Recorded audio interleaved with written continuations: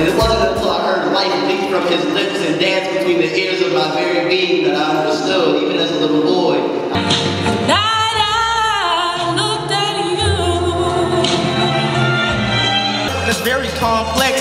Right now, me and first gear switching to the next. Every number stream led me to where you are. Oh, I swear,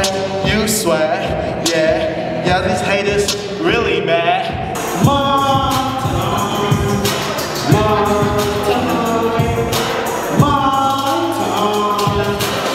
So the guru says, come a little further. The boy walks a little further. The water's up to the boy's neck now.